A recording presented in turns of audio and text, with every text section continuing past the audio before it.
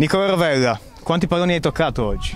Eh, tanti, meno male, sono felice che siamo riusciti a giocare bene e che siamo riusciti a tornare alla vittoria, che mancava ormai da tanto. Allora, questo gol che è arrivato c'è tanto del tuo, con la tua intelligenza avresti potuto mettere a destra, a sinistra, giocare indietro, invece senza neanche guardare hai fatto questa imbucata. Un gol che non mancava da tanto perché voi segnate spesso, il problema è che ne subite tanti, erano otto mesi che non, che, che non finivate una partita senza aver subito gol, questo quanto è importante? Questo sicuramente tantissimo, complimenti a Cleonise che ha fatto un gran gol, un bel movimento e spero che sia un gol importante per la nostra salvezza sicuramente. La vostra salvezza passa dall'ultimo l'ultima partita contro il Sassuolo, eh, a Sassuolo.